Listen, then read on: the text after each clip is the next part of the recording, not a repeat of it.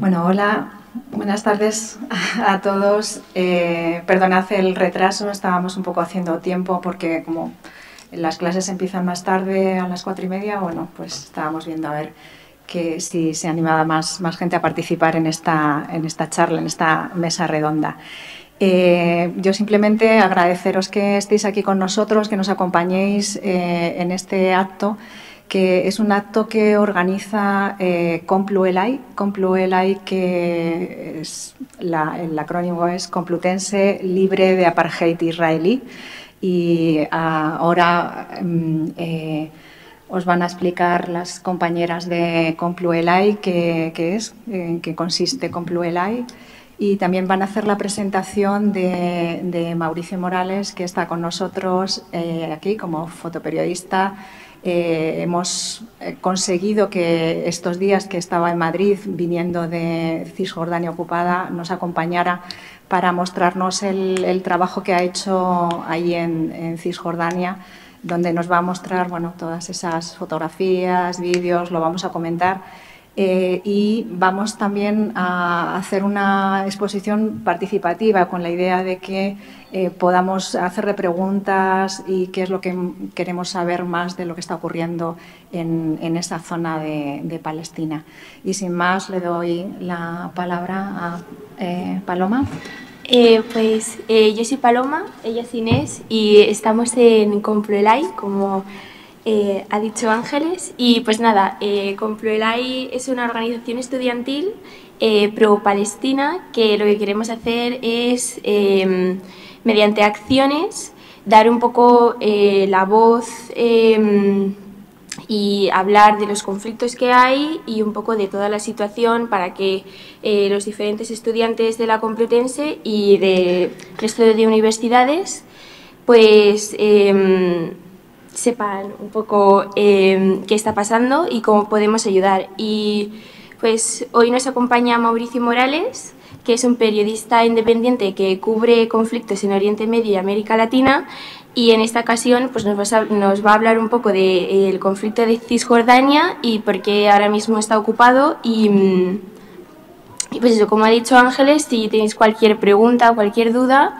eh, podéis intervenir cuando queráis, solo levantáis la mano eh, hablar por el micro para que se, os oiga bien y pues nada, eh, tenemos eh, en Instagram y en Twitter arroba por si queréis seguirnos para iros enterando un poco más de cosas que vamos a seguir haciendo o de información que colguemos y, y nada, ya está, cuando quieras.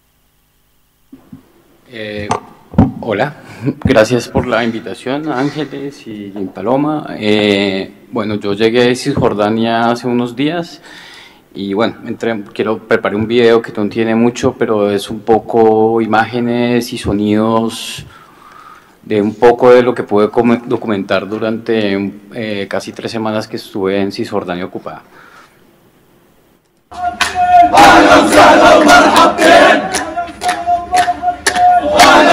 هلا ومرحبتين يا ايها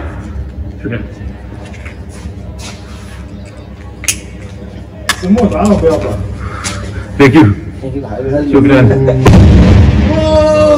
عربية مجانين هدوا شوي بلاش نسمع زنانة تنزل بالي هسه هنا في بعض الضغط تعال تخفف ليش ما عم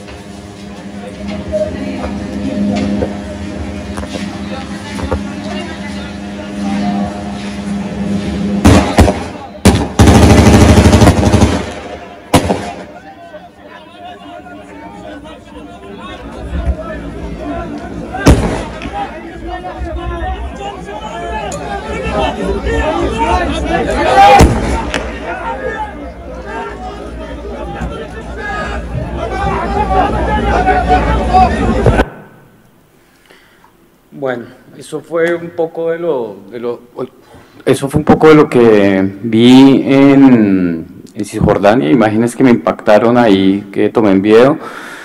El viaje comenzó, eh, obviamente, llegando a Tel Aviv, después Jerusalén y después entrar a Cisjordania ocupada. Pasé por Ramallah, Nablus, eh, Jenin y después a, a Belén. Eh, ¿Por qué fui? Eh, en el 2014 yo fui, estuve en, dentro de Gaza, eh, otra de las operaciones entre comillas de Israel.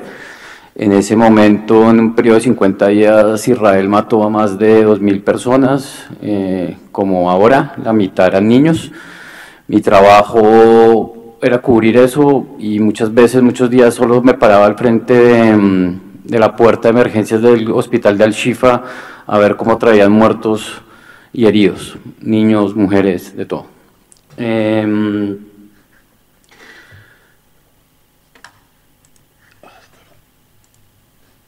estos fueron algunas de las fotos de, mm, que cubrí en el 2014 dentro de Gaza.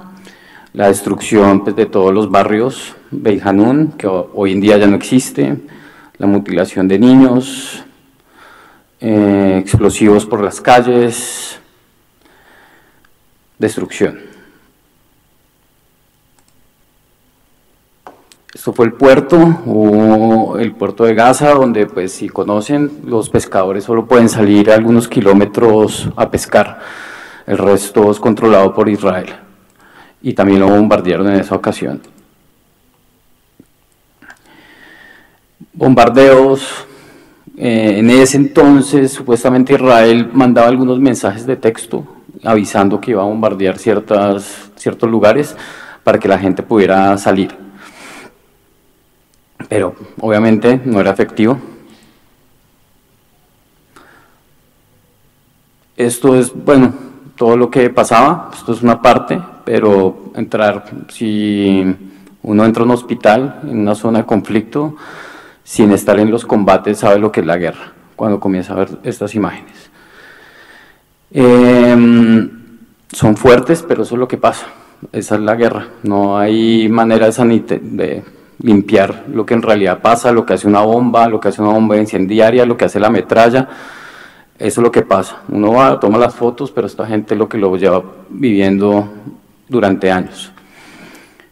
Eh, esto fue hace nueve años, ¿no? Después de eso creo que pasaron tres incursiones más, tres operaciones especiales más en, en, la franja, donde se repetía un poco todo el esquema, ¿no? Eh, que también se puede replicar y más adelante hablamos de lo que pasa en Cisjordania ocupada, pero son lo que llaman como operaciones de limpieza, matar gente, ir matando gente, combatientes, civiles, ir destruyendo infraestructura,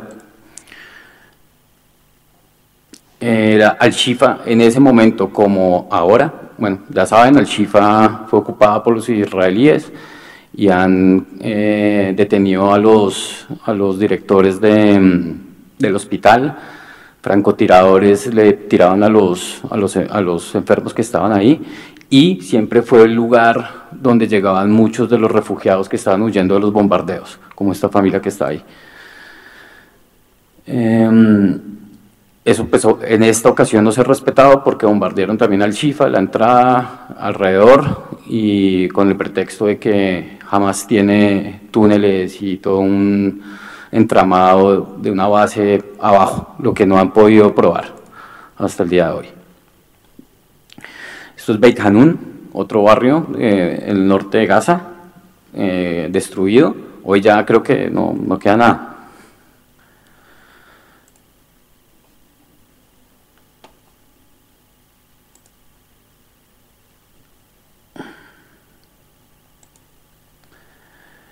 Bueno, entonces esto fue un poco lo del 2014. Mucha gente, incluidos yo, pensábamos que había sido brutal y que no, no se iba a repetir porque, claro, hubo conmoción de la comunidad internacional, de los medios, pero se repitió y se, re, se, se, sigue repitiendo hasta el día de hoy, pero pues ya de una manera brutal. Yo sé si ustedes están siguiendo eh, las redes y ven esto que, que, pasó en ese entonces, no, no, o sea, con lo que está pasando ahora es de unas dimensiones que la verdad em, se me sale el entendimiento.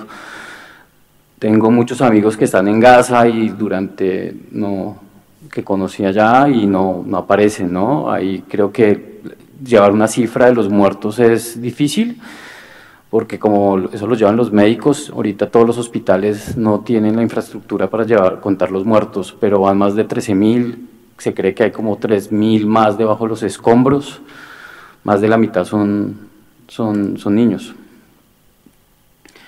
Este fue bombardeado, esto era un, colegio de la, de la ONU, hoy también, escombros. Eh, Esto es lo que les contaba, esto era como lo que uno tenía que hacer ahí, tan solo se paraba un par de horas en Al-Shifa y, esto es lo que llegaba. Algunas imágenes son demasiado brutales ahí como para ponerlas, pero no sé, a veces pienso que debería uno ponerlas. Y bueno, esto fue un poco allá lo, de lo de mm, en Gaza y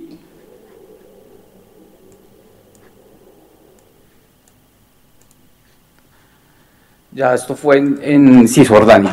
Entonces, con toda la razón, el foco mediático y de todo estaba en Gaza, está en Gaza, pero mientras que estaba sucediendo eso, al día de hoy, según cálculos, hay más de 180 personas que han muerto por ataques e incursiones israelíes en diferentes poblaciones de, de Cisjordania ocupada, entre ellos más de 44 niños. Eh, más de 3.000 personas son arrestadas algunas solo por poner un post de Palestina Libre en Instagram y cualquier tipo de, situación. Esto era una protesta en Ramala, eh, que la gente se reunió como una campaña que están haciendo que nosotros no somos números, porque es obvio también que el nivel de destrucción y muerte no conmueve a nadie del norte global, de pronto porque son palestinos, porque son menos blancos que los europeos, eh, y la gente allá, los, los, los, los, que tienen secuestrados, los que han matado Hamas, eh, israelitas, tienen historias, tienen familias, tienen nombre, los palestinos son números, ¿no? Números que se van agolpando. Hubo descontento en esta marcha eh, contra la autoridad palestina en muchos sentidos, y porque la gente se siente muy impotente y ellos piensan que en cualquier, pues si está pasando en Gaza, puede pasar en Ramallah, puede pasar mañana en Belén, en cualquier lugar. Y ellos no tienen la capacidad, digamos, militar que puede llegar a tener jamás en Gaza. Y la autoridad palestina no, no, no, es inexistente para ellos en su defensa. Eh, Esta chica, no sé si la conocen, eh, es una activista palestina que le pegó unas cachetadas a un soldado israelí cuando llegó a su aldea a, ocupar. Eh, después de esta foto, dos días después, eh, la arrestaron de nuevo. Y porque los israelíes pueden arrestar a las personas bajo una figura administrativa y pueden durar meses, años arrestados ahora está preso. Este fue un niño de 12 años que mataron cerca de Ramala eh, en una de las incursiones israelíes y ese fue el funeral en las calles de, de, de Ramala.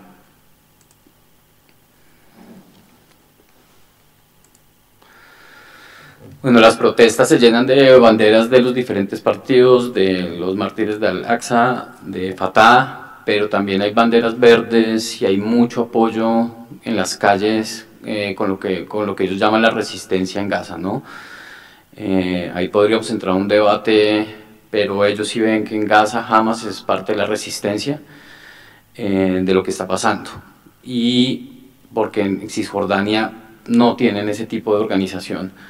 Resisten desde los campos de refugiados, pero que más adelante les voy a mostrar lo que, lo que viví en, en Jenin, que pues lo llevan viviendo 75 años. Estas son las calles de, del campo de refugiados de Jenin.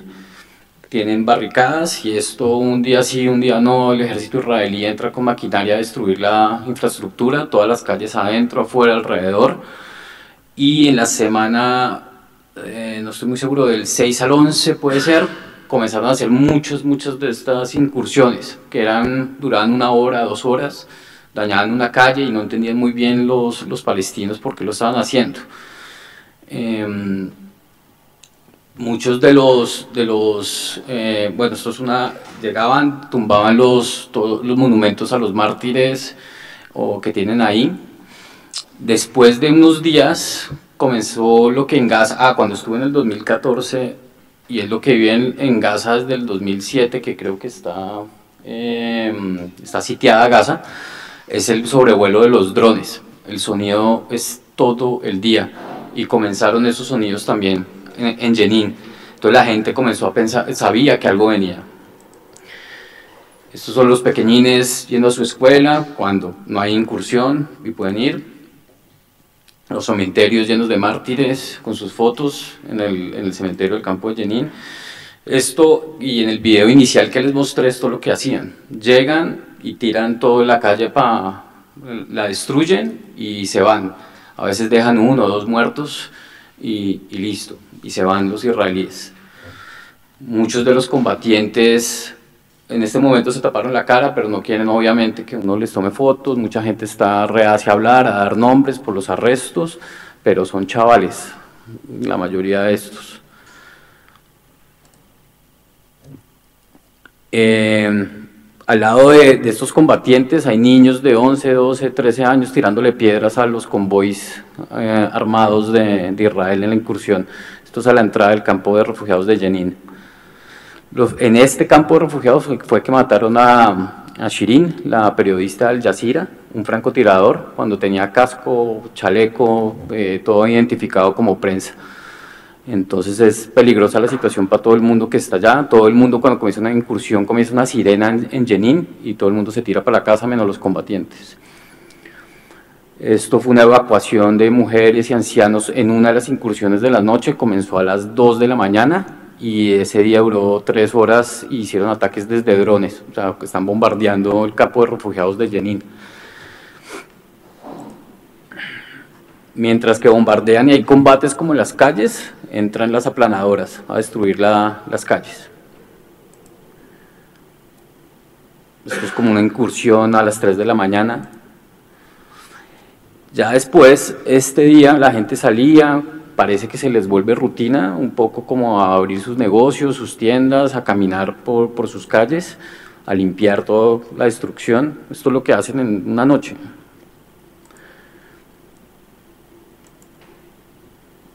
Estas son las calles del campo de refugiados. Bueno, esta, esta imagen para mí es muy especial porque esta señora que pues tiene más años que el Estado de Israel, veía con mucha impotencia, pero, con, pero no con lágrimas, la destrucción de, de, la, de, lo único que ella conoce como casa. El campo de refugiados de Jenin creo que oficialmente es, lo, lo, establecieron desde el 48, cuando fue la, la Nakba que continúa, eh, en el 53 creo que hubo la primera vez que lo destruyeron, después en la segunda intifada en el 2002 destruyeron más de 500 viviendas y esto es un proceso continuo y ahorita están haciendo lo mismo y seguramente van a seguir, así digamos las cosas se, se calmen. Eh, acá comenzó la, la incursión, eh, Em, las alarmas suenan por Jenin y ya se viene. Obviamente comienza un convoy, pero esta vez era un convoy de 30, 40 vehículos blindados que iban a hacer la incursión en, en Jenin. Entonces, ¿qué pasó? La incursión duró desde las 10 de la mañana hasta casi las 5 o 6 de la tarde y estaba muy fuerte, bombardeaban hasta que por altavoces el ejército israelí dio una ventana de dos horas para que los civiles pudieran salir y la gente pues tuvo esa ventana para poder salir de, mm, de, sus casas, a refugiarse en el hospital que quedaba a unos 800 metros.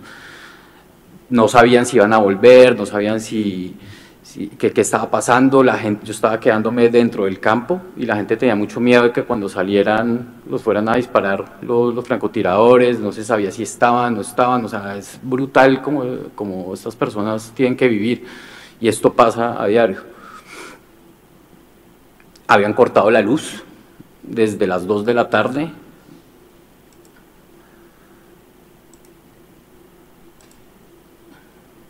El hospital lo, lo, bloquearon vehículos blindados también durante el tiempo que duró la incursión. Finalmente es pues, una técnica como aterrorizar porque dijeron volveremos, pero esa noche no volvieron, pero sí volvieron días después. En esta incursión mataron 14 personas, mientras que de 10 de la mañana a 6, 7 de la tarde los niños estaban en los colegios, se escuchaban ahí como hacían sus juegos, no estaban, se pudieron reunir con sus papás, ya fue en la noche. Y esto ya fue el entierro de, algunos, de las 14 personas que, que mataron, pues muchos eran combatientes.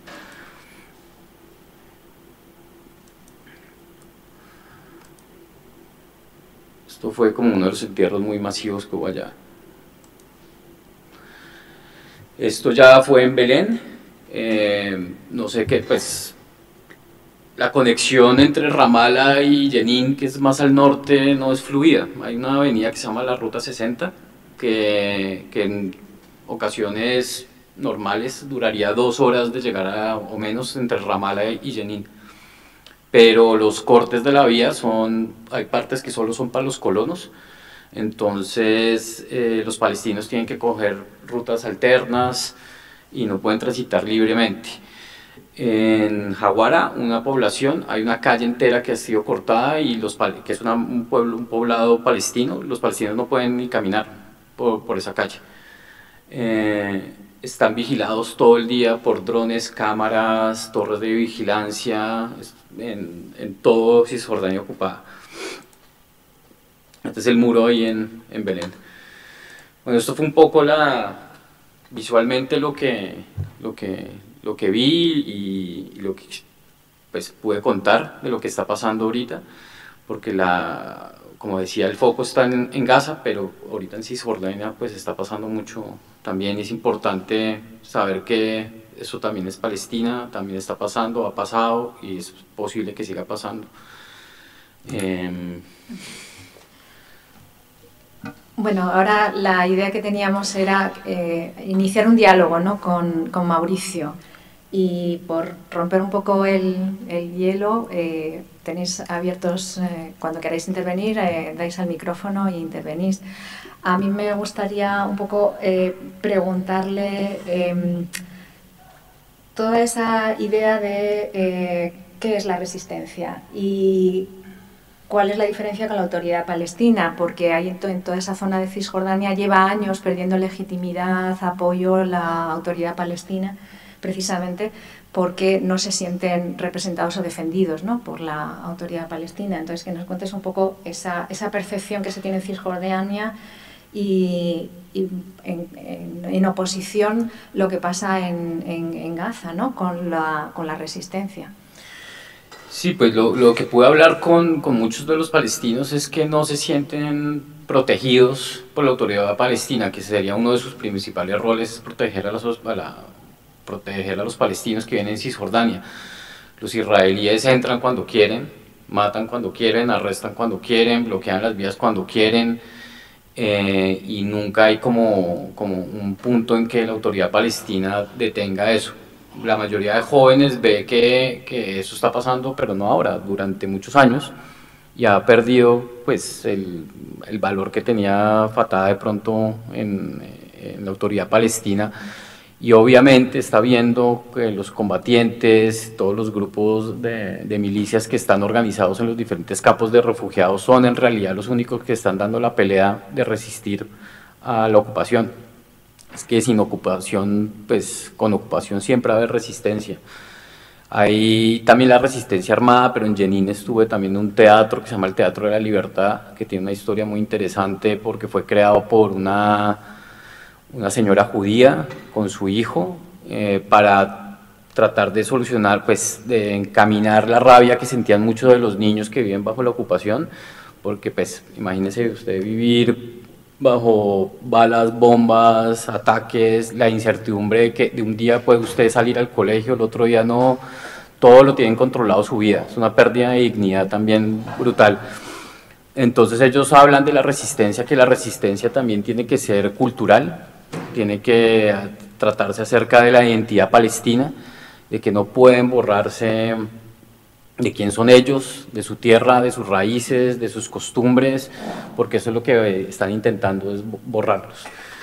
Eh, la resistencia armada que ellos, ellos la ven como ellos la ven como autodefensa y en realidad pues lo que yo pude ver en los pocos días es que ellos repelen a un ataque de un convoy de 50 vehículos militares con aplanadoras a destruir el barrio eso y salen los combatientes a repeler eso en Cisjordania, en el momento que voy, no hay ataques a bases israelíes, no hay ataques a, ningún lado. En, si saben, en, Cisjordania no, no, gobierna jamás. Entonces, sí hay una, un modo de ver la resistencia como en este momento como autodefensa, porque no, no, hay de otra. Eh, ¿Qué pasaría si no estuvieran los armados en, en los campos de refugiados? Es muy difícil saberlo, pero si están, ya estando y destruyen las casas, bombardean hoy en día, pues les queda la duda a estas personas acerca de, eso, por ese lado. Yo tenía una pregunta eh, relacionada un poco también con la, eh, las organizaciones internacionales, porque hemos visto pues que la ONU como que como que lo quiere intentar dejar pasar, porque dice que el conflicto se puede solucionar entre los países tranquilamente y no quiere actuar. Y lo que has hablado de que eh, hicieron un, em, un, colegio y se destruyó y, tada, y, y, no, o sea, como que no hubo represalia por parte de la ONU en cuanto al conflicto, ¿cómo se ve eso desde allí? ¿Cómo, eh, cómo las organizaciones pueden ayudar desde eh, Palestina y desde Gaza o de Cisjordania para que em, puedan realmente ayudar? Pues mira que lo, que pude ver y hablar con la gente, la gente obviamente con todo lo que está pasando en Gaza y está pasando en sus territorios está totalmente, no, no, no sé cómo decirlo, apática todo lo que pueda llegar a ser. saben que la comunidad internacional, las organizaciones no están haciendo nada durante años, están abandonados. Saben que el tema también viene de un tema de racismo absoluto, como decía, de que un muerto palestino no representa nada eh, en algunas discusiones veían cómo se movilizó todo cuando fue la guerra de Ucrania, de pronto porque eran blancos, rubios, habían periodistas que lo decían, de hecho, que eran, son como nosotros, son blancos, son rubios, tienen los ojos claros, pero los palestinos o las personas que venimos del sur global somos, para ellos tenemos otro valor. Eh, han perdido, yo creo que ellos, lo que hablaba es que ellos ven todo como un paliativo, ¿no? Cómo hacer para que sobrevivan y no sean exterminados. Pero soluciones y acciones directas no hay. En el discurso en los medios, que es donde me muevo yo más, pues ustedes pueden ver que los palestinos mueren cuando titulan, pero a los israelitas los matan. Jamás comete crímenes de guerra, Israel excesos. Entonces hay unas contradicciones brutales de, los medios. Hace poco creo que Borrell lo, lo entrevistaron en Al Jazeera y le preguntaban que, que si jamás, él consideraba que jamás había, eh, no, que si Israel consideraba que había cometido crímenes de guerra y la respuesta de él fue que él no era abogado, que no lo sabía. Al mismo tiempo le preguntaron que si jamás había eh, hecho crímenes de guerra y respondió que sí, de una. Entonces ahí se doble rasero. Entonces, no sé. Por Bueno, tranquilo. Él me, me, decía Mauricio al principio que era muy como muy doloroso recién llegado de allí a, eh, volver a ver esas imágenes que había fotografiado y, y mostrárnoslas, ¿no? Porque al fin y al cabo eh, uno se siente comprometido con esa realidad y tiene el compromiso de difundirla y de mostrar esas imágenes, pero bueno, pues no dejan de, afectarnos porque, porque también sentimos que, desde aquí, como decía eh, eh, Paloma, mm, hay también una cierta impotencia, es decir, ¿qué, hacen nuestros gobiernos? Que nosotros movilizamos, salimos a la calle eh, y, qué más, ¿no? ¿Y qué más? ¿Cómo podemos hacer que esto, que esto pare, ¿no?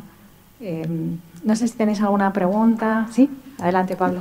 Sí, bueno, muchas gracias a la asociación y a Ángeles por organizar el acto y por supuesto a Mauricio por, por venir a contarnos su experiencia. Entiendo que estas semanas que, que, ha estado allí ha tenido que tratar con las fuerzas de ocupación israelíes en, Palestina. ¿no?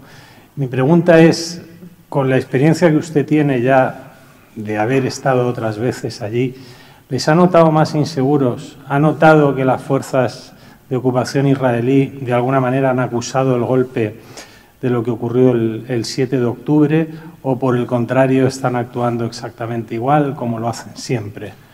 Porque en este sentido mm, lo que ha ocurrido el 7 de octubre marca un antes y un después en lo que ha sido pues, toda la resistencia en Palestina. ¿no? Mm, se parece bastante a lo que ocurrió el 2006 en, en Líbano. Eh, y en ese sentido, si uno tiene en cuenta que el proyecto colonial israelí es un proyecto que se basa en una cuestión demográfica, una cuestión de ocupación territorial y eh, esos dos elementos están vinculados a la seguridad, lo que quedó expuesto, claramente expuesto el, 7 de octubre fue la, seguridad. ¿no? Con, esos, eh, con esas fuerzas de ocupación israelí con las que tuvo que tratar, notó o los notó más inseguros, eh, psicológicamente me refiero. Bueno, no, no, afortunadamente no tuve que tratar mucho porque, bueno, hay una acreditación de prensa que piden eh, y nunca me la dieron, pero yo igual fui eh, sin la acreditación. Para salir de acá de Madrid, volé por el EAL y sí me hicieron un cuestionario tremendo de todo lo que iba a hacer, me revisaron toda la maleta, me cachearon el cuerpo, eh, así, y en, cuando llegué a Tel Aviv me tuvieron también sentado esperando como un par de horas y después un, funcionario israelí me, me, preguntó a qué venía, dónde iba, todo esto. Entre los periodistas sí hay mucho, mucho miedo porque se dice que están agarrando los móviles en los checkpoints y revisando todo. Entonces borré todos los contactos y conversaciones que tenía con, con contactos allá porque sí, sí les ha pasado a algunos. Eh, no, Israel vive en un estado, no, pues lo que te digo, yo estuve en Gaza, pero no he podido, y, ahora que volví, pero sí es un estado policivo totalmente controlado, hay cámaras por todo lado, incluso en, en Tel Aviv y en Jerusalén. Y sí se ha incrementado la violencia, eso lo dicen los palestinos, o sea, hay más bloqueos, más retenciones, digamos, de la movilidad, lo que te decía este pueblo Jugara, que es impresionante cómo han, o sea, lo han bloqueado totalmente para incluso para que las personas caminen. Entonces todas las personas que tenían negocios en ese punto lo han tenido que cerrar. Un ministro israelí que, eh, eh, olvidó el nombre eh, compró un montón de fusiles para entregarlo a los colonos que están en Cisjordania y él personalmente entregó unos el 8 o 9 de octubre después de lo que pasó el 7. Eh, y se han incrementado los ataques de colonos entre a poblaciones palestinas. Entonces, respondiendo un poco, sí, se ha incrementado. Es como que se ha dado carta blanca a, a que se incremente, digamos, la represión, la violencia y todo esto.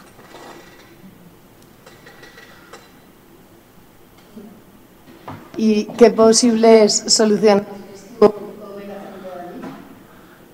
Uf, esas preguntas. eh, Mira que son diversos, yo, yo, no, yo no te podría decir, no creo, no estoy capacitado para decir. Si la gente no piensa que una solución de dos estados sea posible en estas alturas del partido, porque hay más de 700 mil colonos ahora viviendo en Cisjordania ocupada, eso no va a ser fácil quitarlos. Eh, no se sabe, yo creo que la gente está como mirando también, porque a veces preguntado, se viene una tercera intifada y decían, es que ya intifada, ¿para qué? O sea, nosotros necesitamos una solución acá de lo que está pasando. No, o sea, ahí me, dejas sin, sin, una respuesta, pero lo que decía la gente sí es eso, que la solución no viene de un Estado, o sea, la mayoría de la solución de los dos Estados. Eso lo ven muy lejano porque pues no se ha implementado, primero, no, nada. No sé si saben, eh, Cisjordania está dividida en zonas A, B y C. La zona A es la autoridad palestina, la B es conjunta eh, y la C es de mm, dominio totalmente israelí, pero es la Cisjordania que le corresponde a Palestina. Pero en nada se respeta. Las incursiones las haces en la zona A, tienes retenes en la zona A, en la B, en la C, o sea, ellos están bajo el dominio de las fuerzas de ocupación en todas las zonas. Entonces, no. Eh, hace, mm, bueno, hace unos días con un compañero palestino, con Majed Dirsi del Frente Popular de Liberación Palestina, que ha estado aquí dando algunas conferencias, eh, él me comentaba que, que, lo que estaba ocurriendo era un punto de inflexión, es decir, que ya no había marcha atrás, es decir, lo que iba a pasar a partir de ahora eh, tenía que ver con mm, no realmente no una solución o no solución, sino que ya los palestinos no estaban dispuestos a eh, seguir soportando más esa situación que nos has descrito. ¿no? Sé si eh, tú puedes un poco corroborar esa idea, ¿no? de que para los palestinos lo que está pasando ya ha dado un salto eh, cuantitativo, cualitativo, de tal dimensiones que, que, que, bueno, lo que pase ahora va a ser de, determinante con el, en el conflicto. Eh, y por otro lado, también esa idea de qué es lo que ocurre en la zona. Hace años, cuando hablábamos de Palestina, eh, estos compañeros palestinos siempre dicen, eh, decían, la causa palestina es la clave de bóveda que va a definir, que, que, determina todo lo que pasa en, la, en el área y también en, la política internacional. En la política internacional va a estar determinada por las salidas que se encuentren o las no salidas que se encuentren en la zona, en el área. Mm, un poco la, idea es eh, si tú has pensado sobre ello, ¿no? Si, eh, si también tienes esa sensación. Pues la verdad, en, en, el momento mucha gente tiene la idea de, de, que esto es un, como tú dices, un punto de inflexión, pero de que los diálogos no están sirviendo. Eh, esa es la sensación que me llevo, sobre todo en Jenin, porque o sea, entre los campos de refugiados en Nablus, eh, esta semana nomás creo que han matado como 20, o sea, los combates están incrementándose día a día. Entonces yo creo que el, eh, para ellos ya esa opción no está latente y mientras esté este gobierno israelí es que se, se, acaban como las opciones. Es que lo de Gaza no más, o sea, nosotros estamos hablando de Cisjordania, pero lo de Gaza es que es, o sea, no, no, no, no, tiene sentido de todo lo que está pasando y es un fracaso, para mí, eso es mi opinión, es un fracaso de las políticas internacionales, o sea, no sirven para nada. O sea, todo el tema de derechos humanos, todo esto, o sea, está, pa, pa, en mi opinión, de nuevo una, un genocidio ante nuestros ojos y no paran, no paran. O sea, ahorita están parando, pero van a seguir. Y, o sea, ¿cómo, cómo esta gente que, que se, se, se, se deje matar callada no, no, no, entiendo, o que se sienten a hablar después de que toda la sangre deje de fluir y el polvo se aquiete y hay otro, otros 70 años en esta situación, entonces no, no sé. Una compañera eh, que vivió en, en Cisjordania, eh, que de, me decía, de origen indio ella, eh, que trabajaba con un sindicato allí en Palestina, decía que, y escribió un artículo hace poco, hablando de eh, lo contraproducente que es la ayuda humanitaria. Decía, la ayuda humanitaria lo único que ha hecho todos estos años es mantener en, con, con, oxígeno a, a, toda esa población aguantando, resistiendo en los mínimos vitales. Y ella decía, cuando nosotros aquí en Europa estamos reclamando ayuda humanitaria, ayuda de emergencia, ella decía, no más, eso, eso no puede seguir siendo así. Eh, y, incluso ella acusaba a la honrua, ¿no? decía que, que la honrua era culpable de que se mantuviera esa situación de, de opresión de los palestinos, ¿no? porque les permitía vivir a cuentagotas. ¿no? no sé si ¿A ti te parece que es así? No, sí, sí. Hoy, hoy en día estaba haciendo una historia, iba a hacer una historia que me encargaron sobre un equipo de fútbol que se llama, del campo de refugiados de Belén, que se llama el AIDA Celtic Club, que lo, lo ayudaron a armar como eh, la barra del Celtic, que se llama la Brigada Verde. Bueno, y fui a hacer la historia normal y pues el chico que me atendió, uno de los directores me dijo, no, acá todo está parado. O sea, ahorita no estamos para hacer unas historias de un puto partido de fútbol, de un equipo de fútbol. O sea, nos están matando, loco. O sea, no, no me venga con una historia. Me sentí como un culo, porque la verdad es eso. De que, o sea, ahora hay una, están matando gente. ¿Qué más se puede hablar?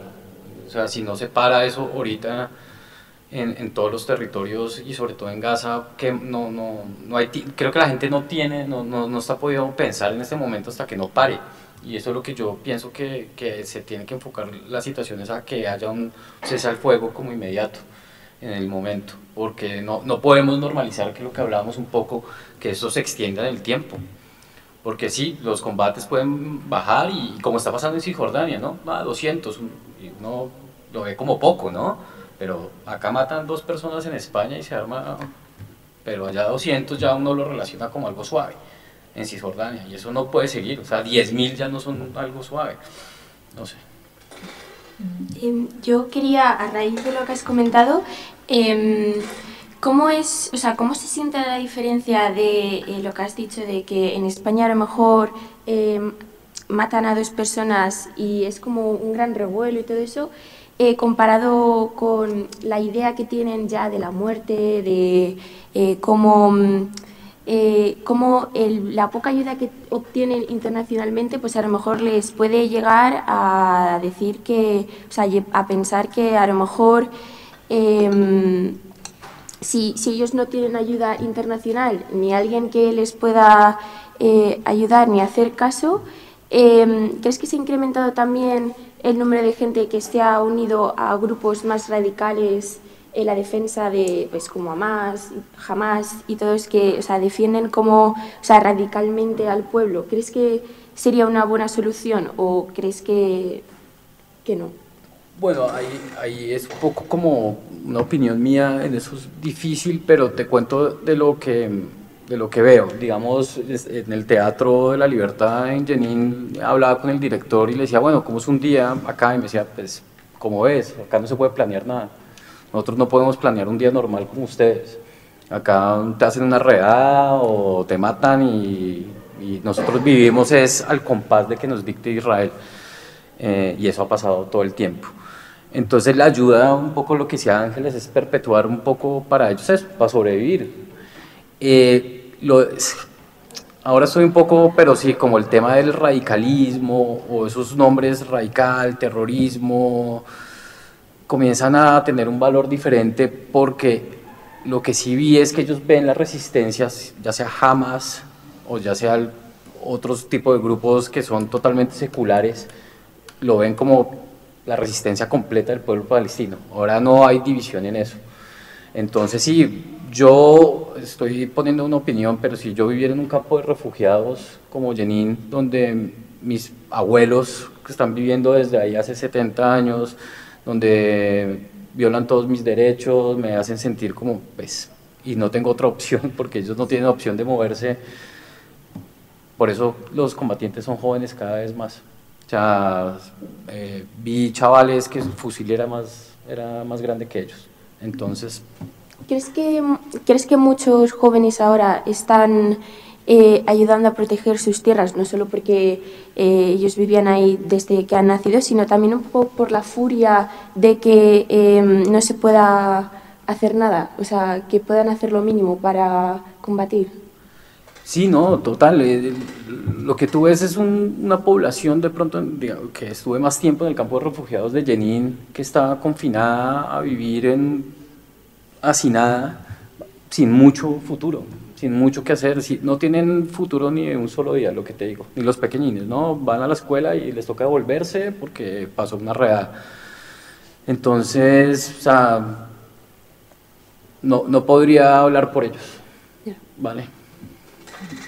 Yo tengo una pregunta y mm, es que como los gobiernos aquí no están haciendo nada, em, ¿qué acciones consideras tú importantes que podemos hacer nosotras como civiles para poder hacer algo de alguna forma? Eh, uy, eh, Pues yo creo que acá lo importante es, eh, para mí, es presionar un poco a los gobiernos en que haya acciones concretas contra el Estado de Israel y con lo que está haciendo en este momento. Eso es lo que yo, o sea, seguir movilizándose, seguir visibilizando lo que está pasando, no olvidarlo, pero sí presionar desde acá, es que desde acá, desde el norte global, desde Europa, Estados Unidos, que se están tomando esas decisiones. Entonces, porque Israel, si no tuviera esa protección que tiene de, de Europa y de Estados Unidos, no, no estaría haciendo lo que hace. Y un poco por contestarte también esta pregunta, yo creo que hay muchas cosas que podemos hacer y entre otras, desde la universidad, desde la academia, eh, tenemos que trabajar el lenguaje. El lenguaje nos lleva, nos induce a determinada forma de pensar. Entonces tenemos que ser capaces de desmontar ese relato ¿no? de que eh, jamás es el terrorismo y, y, que eso legitima las acciones de Israel, aunque bueno, son desmedidas o son eh, exageradas, pero bueno, de alguna forma le estamos legitimando. ¿no? Eh, yo creo que hay que trabajar un poco con esa idea de que la resistencia está legitimada. Hay resoluciones de Naciones Unidas, en el caso de la resolución de 1982 con ocupación del, del Líbano, donde la propia Naciones Unidas eh, legitima y habla de la resistencia, incluida la resistencia armada, como una forma eh, posible para eh, y legítima en situaciones de ocupación. Otro mm, elemento muy importante es que dejemos de hablar del conflicto palestino-israelí. Es decir, no hay un conflicto palestino-israelí, lo que hay es un conflicto de colonialismo. Estamos hablando del colonialismo que se perpetúa y, y, tenemos que ser capaces de rebatir esos argumentos porque al final ese lenguaje nos lleva a reproducir de alguna forma el discurso, el discurso dominante. ¿no? Eh, yo creo que nos falta en la academia mm, a, todos nosotros ¿no? mucha formación, el, saber de qué estamos hablando. Eh, la situación actual, decíamos muchas veces, en el grupo ELAI decimos muchas veces, es que no empezó ahora ni, ni siquiera empezó hace 75 años, ¿no? Eh, empezó mucho antes. La resistencia palestina empezó con el mandato británico, ahí empezó también la resistencia. Así que mm, yo creo que es uno de los elementos fundamentales, ¿no? el, el, que también pasemos de esa solidaridad emocional que nos provocan los medios de comunicación a otra solidaridad que tiene que ver con el apoyo a la resistencia eh, y tratar de, de difundir ¿no? otro mensaje, construir otro relato. ¿no? Eh, aquí tenemos también a, a Pablo, ¿no? que, que da clase en la Facultad de Periodismo y él me decía lo difícil que es organizar una charla en periodismo y también vemos lo difícil que está siendo aquí en esta Facultad de Ciencias Políticas donde hay gente muy comprometida, que nos vemos en las calles y que sin embargo no somos capaces de decir, bueno, tengo clase, pero esto ahora mismo es mucho más importante que cualquier cosa que me pueda contar un, profesor ¿no? de, de relaciones internacionales o de sociología o de... Entonces yo creo que entre hacia los compañeros tenemos también esa, esa tarea ¿no? que, que, hacer. Sí, yo creo que también un poco que um, investigar por cuenta propia, que no, que no den como fiable los medios de comunicación, porque muchas veces eh, acaban siendo bulos que hasta eh, la presidenta de la comunidad que tenemos se los cree y, lo que hace es una red de gente que tiene un odio desmedido hacia, hacia eh, la comunidad palestina o hacia eh, Hamas o hacia eh, los, palestinos en general solo por un bulo que se han leído que realmente no era cierto. Y yo creo que un poco también hay que hacer eso de eh, o sea, como tener esa idea en la cabeza de, bueno, yo puedo leer esto en el periódico, pero yo también voy a eh, investigar por cuenta propia, voy a saber, o sea, investigar qué ha pasado desde el principio y un poco, pues, tener una idea propia del conflicto, no que esté inculcado un poco por los medios de comunicación, porque al final la mitad de los medios de comunicación o están comprados por eh, diferentes grupos políticos o son eh, noticias que, que dejan como un poco eh, o sea, con una, una subjetividad hacia eh, Israel, o sea, una subjetividad israelita, más o menos, o sea, por así, por explicarlo, pero em, no se meten realmente en el conflicto, sino más en el odio eh, de la comunidad eh, palestina que realmente pues hablar un poco con objetividad del conflicto. Y quisiera añadir a lo que dices, es que, eh, bueno, es la visión colonial también de todo, no, no solo de Israel, sino de Europa, que necesita, digamos, ahora periodistas blancos europeos contando la historia en Gaza. No, allá hay periodistas palestinos contando la historia, también hay que seguirlos, están fotografiando, hay medios. No necesita ir una persona para corroborar que es verdad que están matando a las personas en Gaza. Hay periodistas que llevan un montón de años cubriendo eso. Eso es un poco el paternalismo que veo, yo soy de Colombia, y hasta que no va un periodista de, de por acá del norte global, entonces ahí Ahí sí, no, allá hay periodistas y de hecho han matado más de 70 que están contando la historia. Están en redes y pueden seguirlos y, lo, que cuentan pues es lo que es. No necesitamos que tampoco que dejen de entrar a la prensa internacional, sí, estaría bueno, ¿no? Pero ya hay gente contando eso, arriesgando sus vidas y haciendo. Sí, y que yo creo que también que que ya quedan tanta voz a eh, políticos israelíes que cuentan eh, un poco pues eh, cómo ven ellos el conflicto, lo que habéis hablado antes de que un, un, político israelí por parte de, de, Palestina veían que era terrorismo, pero por parte suya pues no creían, o sea, que era defensa. Yo creo que también estaría bien que empezasen a hacer un poco como eh, eso de coger eh, realmente periodistas de Palestina que hayan vivido siempre en el conflicto o que sepan bien cómo explicarlo y, que lo puedan explicar ellos y que tengan una voz para eh, poder salir y que la gente vea lo que realmente está pasando desde mm, un punto de vista de una persona que realmente ha estado en el conflicto, no desde una persona que está en un, en un, escritorio que le han mandado de que la noticia para el próximo domingo hable de tal y que lo busque en tres páginas web y ya está. ¿Queréis hacer alguna pregunta? Sí, una, una pregunta, Mauricio. Quería saber si intentó distribuir el material, eh, las fotos, los vídeos, a los medios de comunicación mainstream, los medios de comunicación convencionales. Y si fue así, si notó reticencia o censura a bueno, distribuir el material que usted estaba trabajando allí en Cisjordania. Eh, no, yo hace mucho tiempo tomé una decisión de eh, trabajar con medios a los que respeto. Entonces estaba trabajando con Al Jazeera, eh, con Gara del, de Euskadi y con Público. Entonces no, no mandé ningún material extra, solo a ellos que me respetaron lo que yo escribí y las fotos.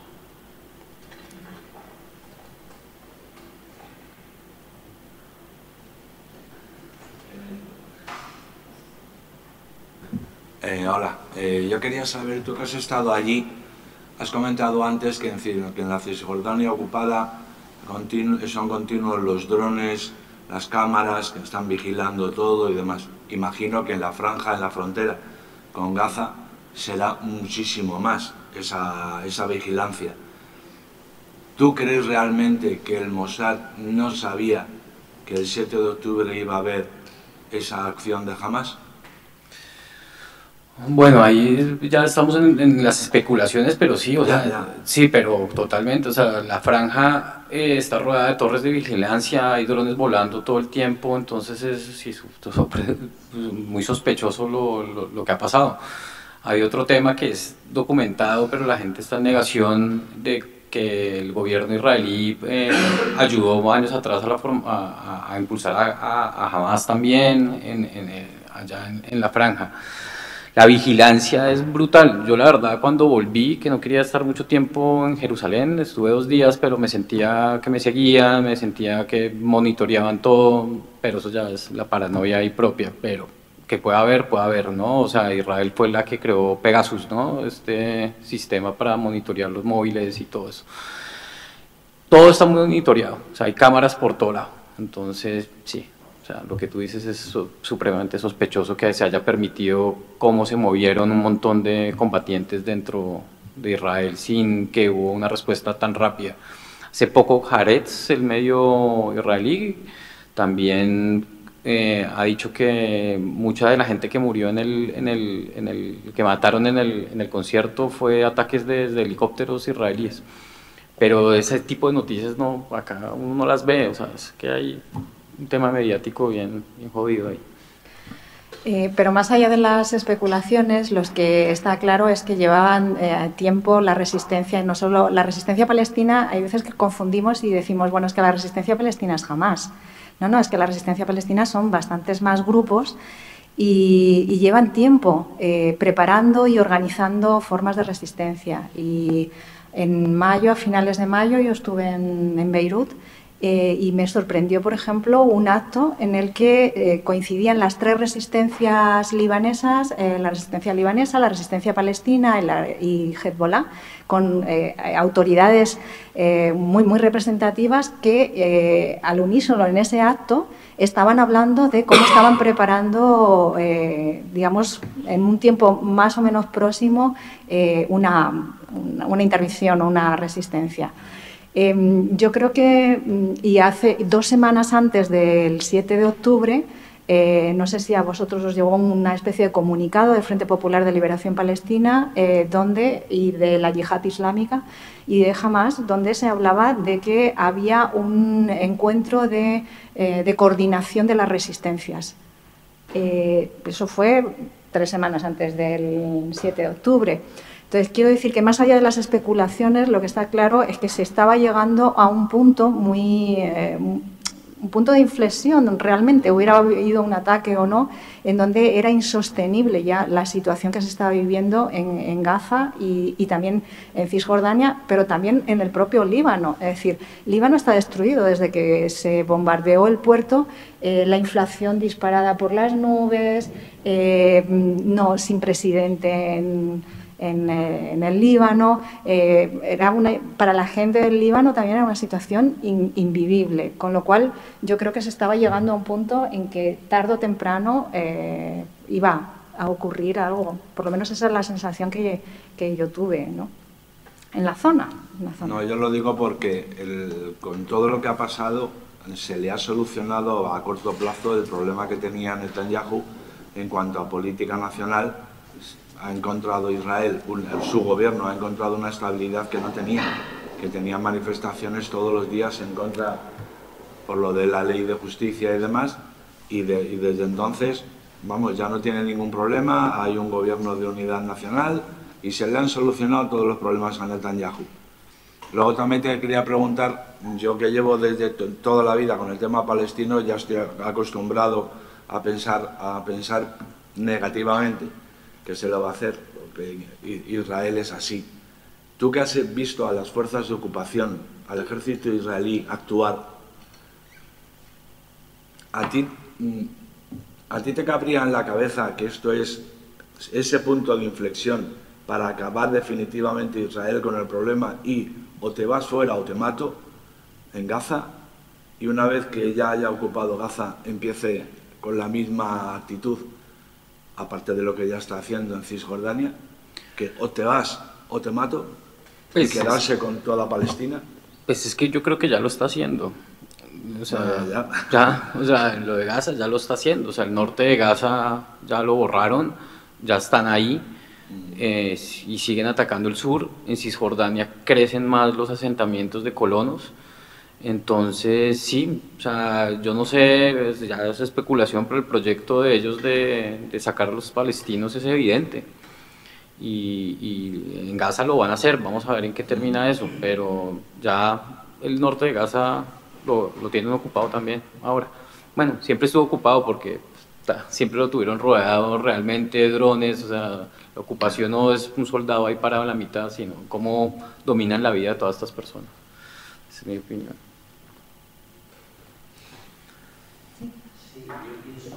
Si puedes darle al botón del micrófono. ¿Se me oye si hablo así con esta voz? Vale.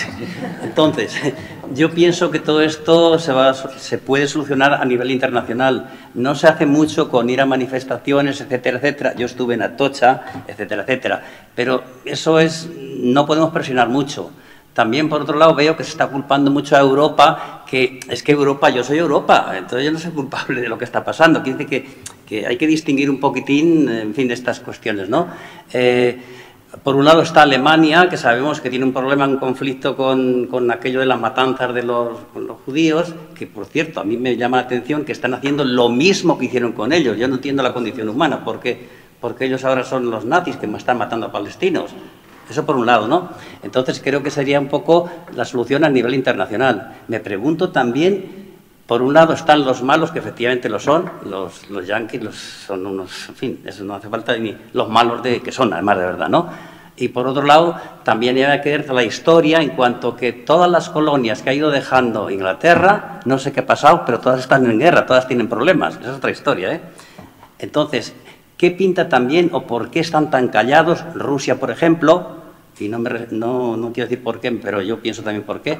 Bueno, ¿por qué Rusia está tan callada? ¿Por qué China está tan callada? ¿Por qué Irán también está tan callado? Y no dicen nada, porque sería una fuerza para contraponer los Estados Unidos e Israel, que es lo que el bloque que está, en fin. Entonces no entiendo por qué, porque Europa está dando pasos por uno y por otro y no todos son malos. Los, o sea, están intentando, por lo menos abogando por porque haya dos estados palestinos, que creo que es lo que piensa mucha gente y mucha población en todas partes de Europa. Yo creo que sí, yo por lo menos lo pienso así, vamos, que sería una solución. Entonces, ¿qué piensas de la actitud de Rusia, China, Irán? ¿Por qué están tan callados? Y segundo, ¿qué solución ves? Porque yo no veo otra solución que, que haya dos estados. A ver. ¿Sí? Me ha, me ha, Hombre, me ha... no se puede no se puede barrer del mapa tampoco a Israel como dice Irán. Eso no, vale. O igual. No, no, pero yo estoy haciendo un poco a poco de diablo, ¿eh? A ver, yo, soy, eh, yo estoy pro palestino. me ha- o sea, me ha no- pedido- No, no- no confundamos, ¿eh? Pero, pero que si no se... Bueno, No se puede barrer. No, no termino, no termino. No se puede barrer así a un Estado por la. que sí, por Ah. A ver, mm, eh, adelante, pues contestar O y... sea, yo, yo creo que, eh, o sea, en cuanto a lo de Rusia, eh, China e Irán, o sea, quiero pensar que Irán está, está callado a nivel público, pero que... al- ya, algo- hombre, ya no sé, está- ya no sé qué. Pero, sí, pero podía hablar. Sí, ya, pero... No. O sea, al final todos hablan entre ellos. Otra cosa es lo que nos dicen, ¿no? Que- sea, eso yo no te lo puedo contestar. Pero en cuanto a las soluciones, dos estados, desde luego, que, que, eh, a nivel... eh, ¿Dónde estarían las fronteras? ¿Qué, qué pasa? ¿Que el Estado de Palestina va a estar en la franja de Gaza, en Cisjordania? ¿No van a poder tener un- una carretera para ir a ver a tu vecino? Eh, ¿Qué pasa con los 700.000 palestinos o no colonos que están en Cisjordania? ¿Qué pasa con los que trabajan en Israel? O sea, hay un demasiado conflicto como para verlo posible. Yo creo que la solución, que a mí he leído, que a mí más me convence, es la de crear un Estado democrático en el que convivan. Ya, A ver, pero es que eso. os, os intento... A ver. Eso ocurrió en- Ya.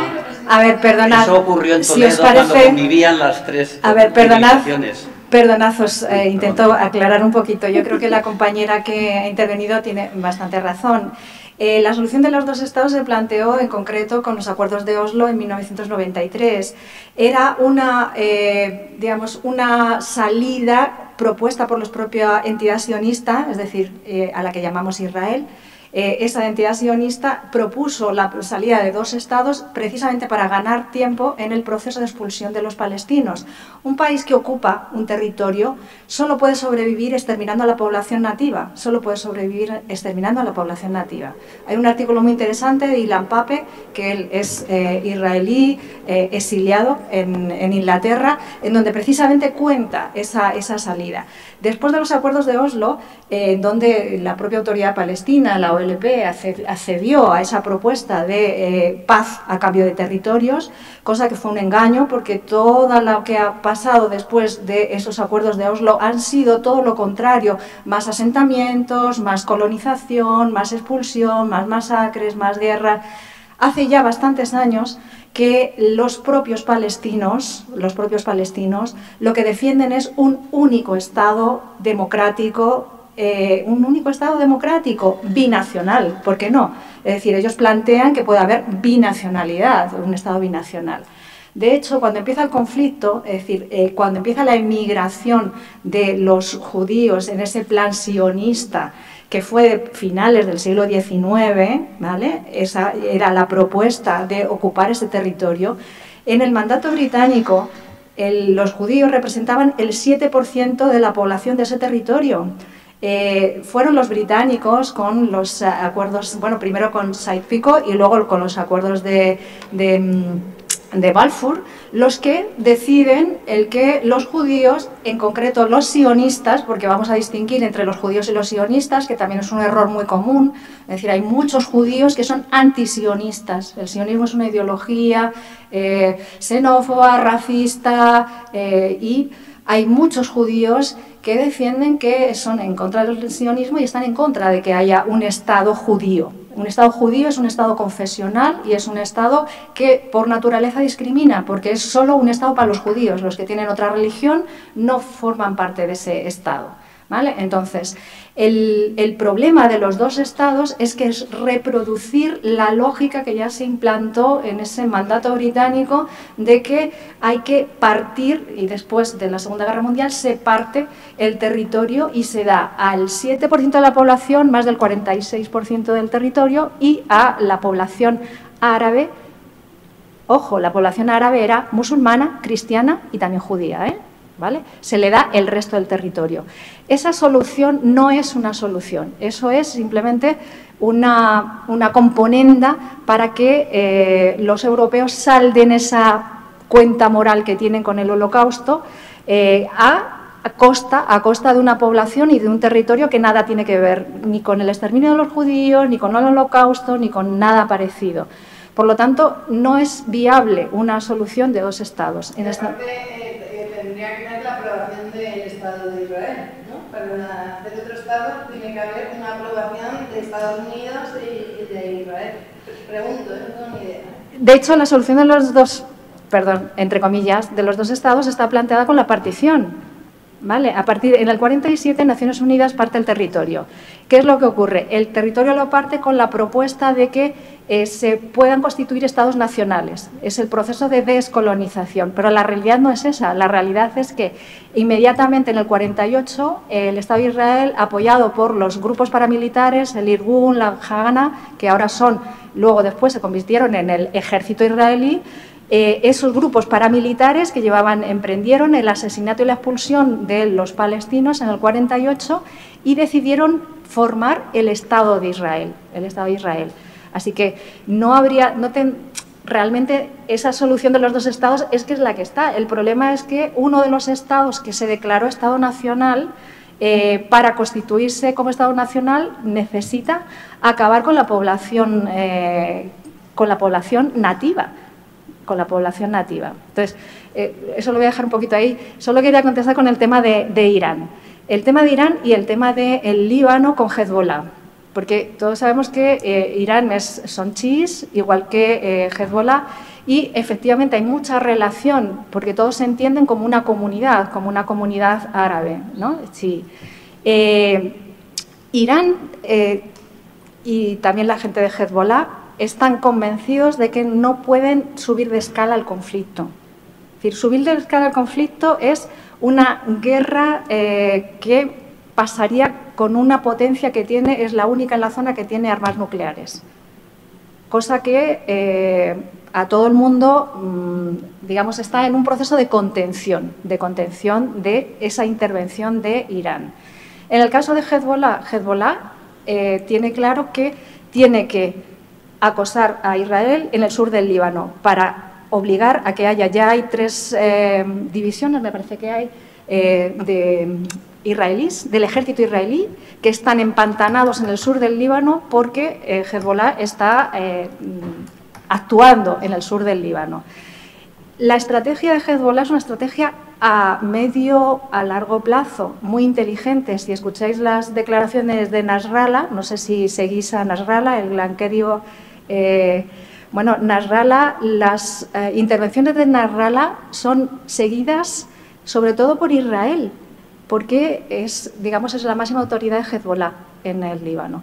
Y la última intervención, él lo que planteó es que ellos estaban con la resistencia palestina, pero que su estrategia no pasaba porque fuera Israel quien decidiera cuándo, cómo y en qué, y en qué dimensión tienen que actuar ellos como Hezbollah. Eh, como tú decías, hay muchas cosas de las que no nos vamos a enterar. En una guerra, eh, los que menos nos enteramos son los medios de comunicación y los que están en, ahí, porque, porque si no, no tiene sentido. Es decir, si tú tienes ganar una guerra, no estás descubriendo tu estrategia al enemigo. O sea, tú tienes que, que actuar eh, con las resistencias de forma coordinada. Y en el caso de China también pasa lo mismo. No sabes si habréis oído que China ha desplegado unos portaaviones en la zona, en el territorio. Eh, el caso de China y el caso de Irán y el caso de Rusia tiene que ver con que hay un nuevo orden multipolar en marcha, que es de hace unos años, con los BRIC y con la Organización de Cooperación de Shanghái, se está construyendo un nuevo orden internacional que va a ser liderado no por una potencia, no por Estados Unidos, sino por un bloque. Y ojo, yo no estoy diciendo que sea eh, un bloque socialista ni que vayamos hacia el socialismo. Yo lo que estoy diciendo es que hay una nueva situación internacional y que esas tres potencias que lo son, que son potencias económica, que es una potencia militar eh, y que son potencias en la zona pero a nivel mundial, con toda una serie de alianzas que ya se están desarrollando con América Latina, por ejemplo, en el caso de Irán, en el caso de China y en el caso de Rusia, que llevan interviniendo y haciendo alianzas con América Latina desde hace bastantes años. Eh, por eso, la pregunta de qué es lo que están haciendo hay que buscarla leyendo entre líneas y leyendo información que no sale en los periódicos habituales, sino que podéis encontrarla, por ejemplo, en los periódicos económicos. Si veis a los periódicos económicos, ahí podéis encontrar mucha información de por dónde van a ir eh, un poco las salidas. Perdona que me haya extendido tanto adelante. Eh, lo mío era básicamente para contestar lo que dijo el, compañero, porque me parece que hay algunas cosas que son o erróneas o que me parecen incluso peligrosas, como por ejemplo el tema de, eh, uno que es erróneo es el tema de la consigna de, el, de, que, de que Europa es la que está incluso eh, apoyando a Israel y demás y que por tanto yo también me tengo que sentir eh, aludido porque soy europeo, cuando realmente la Unión Europea no defiende ninguno de los intereses nuestros realmente, no en un sentido nacionalista de no defiende a España, sino que no defiende realmente los intereses de la población, sino que defiende los intereses de las capas que dominan. Eh, las instituciones europeas, que les interesa que esté sucediendo ahora mismo lo que está pasando en Israel porque realmente si medimos el apoyo que hay en Palestina y en Israel por parte de la población, se puede observar de que mientras que en el caso de la defensa de Palestina hay un montón de manifestaciones y que son de mucha gente y demás, por parte de los pro-israelíes se tienen que ir a calles estrechas para que se vea que son muchos cuando en realidad son muy pocos. Y luego otro que me parece muy eh, peligroso, que eh, tú lo comentaste, es el tema de, de, separar lo que es el sionista del judío, porque incluso la, la, una de las pocas organizaciones legalizadas, eh, bueno, que eran legales dentro de la Alemania nazi, era una organización sionista. Es decir, el sionismo al fin y al cabo es incluso antisemitismo, porque en el Estado de Israel hay incluso una división racial del trabajo. Dependiendo de dónde seas, si eres de Europa, de de Asia o del norte de África, vas a tener unos trabajos más eh, eh, mejores o peores dependiendo de tu, de tu origen. Eh, para complementar, de, sí, lo que acabas de decir es súper palpable en Jerusalén y Tel Aviv. Los que limpian las calles, los que barren, tienen un origen que no es europeo. Entonces lo que tú dices sí lo vi y me pareció como muy, como otro tipo de, racismo ahí muy, muy, muy evidente que Sí, bueno, eh, yo quería también hace, eh, bueno, hace unos días eh, precisamente publiqué un, publiqué un artículo en público que, que le puse por título Europa es moral y espiritualmente indefendible y eh, la entrada de ese artículo eh, recogí unas palabras de 1950, donde Aimé Césaire eh, ese, em, autor que, bueno, hizo ese discurso en los años 50 sobre el colonialismo, eh, decía, una civilización que se muestra incapaz de resolver los problemas que suscita su funcionamiento es una civilización decadente. Una civilización que escoge cerrar los ojos ante sus problemas más cruciales es una civilización herida. Una civilización que le hace trampas a sus principios es una civilización moribunda. Yo creo que en los años 50, Aimé, cuando escribía ese discurso sobre el colonialismo, eh, una de las cosas que él decía es que con, Hitler y con el, el, nazismo, Europa lo que estaba recibiendo es la propia medicina que había llevado durante años y siglos a las colonias.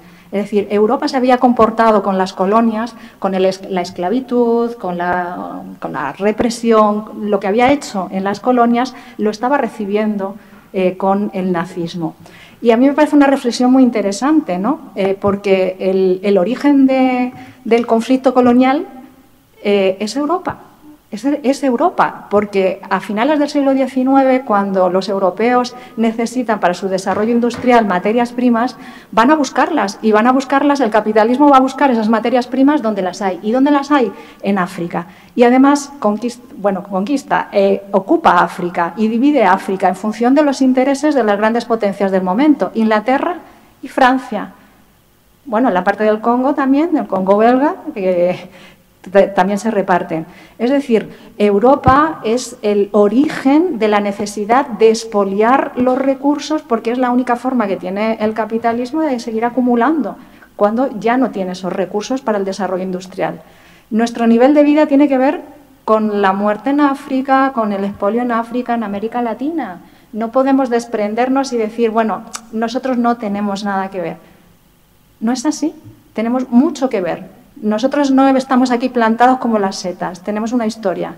Y la historia es la historia de esa Europa colonial, colonial. Y también imperialista, porque una vez que se produce la descolonización, por ejemplo, en África, lo que ocurre es que hay una colonización política, una subordinación política y económica al servicio de los intereses de los franceses, de los alemanes eh, y de los eh, anglosajones. Así que yo creo que debemos de reflexionar un poquito más de las responsabilidades eh, que, tenemos como europeos, porque el origen del conflicto es un conflicto colonial y, por tanto, el origen está en las potencias coloniales, que son europeas, básicamente europeas. Y lo único que hace después de la Segunda Guerra Mundial Estados Unidos es tomar el relevo de esas potencias que en declive y tomar el relevo de la ocupación y del expolio. Por eso es verdad que Estados Unidos está detrás cuando Nasrallah habla eh, para el mundo árabe y dice que el, principal responsable es Estados Unidos, porque Israel no habría sobrevivido todos estos años, desde el 48, sin la ayuda militar, económica de Estados Unidos. Es un portaaviones, es un enclave en la zona para controlar el mundo árabe. Y controlarlo en tres aspectos en el aspecto de las comunicaciones, esa es una zona fundamental para las comunicaciones, en, el aspecto de las materias primas, el petróleo, el gas, y en el comercio. En el comercio. Por lo tanto, hay tres elementos que son claves para la supervivencia de la hegemonía estadounidense y europea. Y están ahí, en esa zona. Por eso es tan determinante lo que ocurra en, en Palestina. Bueno, perdonad el, el discurso, no he podido resistir. ¿Tenéis alguna pregunta más? Bueno, pues creo que podemos eh, cerrar aquí. Eh, bueno, deciros que desde Complu eh, que estamos un poco haciendo todo ese trabajo de formarnos, de organizarnos, eh, pues mm, os invitamos, como os decía eh, Paloma, a que sigáis en, Instagram y en las redes sociales las actividades que vamos a seguir organizando. Por supuesto, seguir a, Mauricio. Eh, y ya que le tenemos aquí, ya le hemos comprometido a que eh, podamos utilizar sus materiales, montar una exposición en esta facultad con todo lo que con, con su trabajo, difundirlo Vamos a intentar a ver si en periodismo conseguimos también mover, ¿verdad? En Ciudad Universitaria y hacer exposiciones. Sí, eh, yo creo que en Bellas Artes también estaría interesante. Eh, nosotras somos allí y tanto en la biblioteca como una sala que hay, eh, suelen hacer muchas performances, muchas exposiciones eh, de diferentes artistas, tanto fuera y dentro de la facultad, entonces yo creo que estaría interesante. Así que os animamos a que bueno, pues contactéis y toda la ayuda que nos podáis dar para mover todo este tema, pues bienvenida y muchas gracias.